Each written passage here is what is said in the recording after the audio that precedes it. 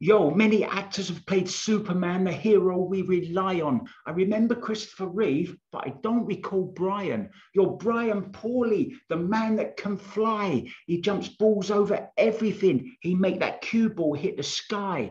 Tonight he'd be playing the artistic pool. Will his panties be on the outside of his stockings like a fool?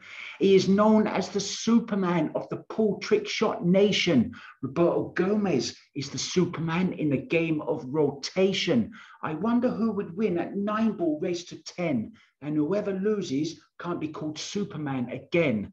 But Roberto should also try to make balls take flight.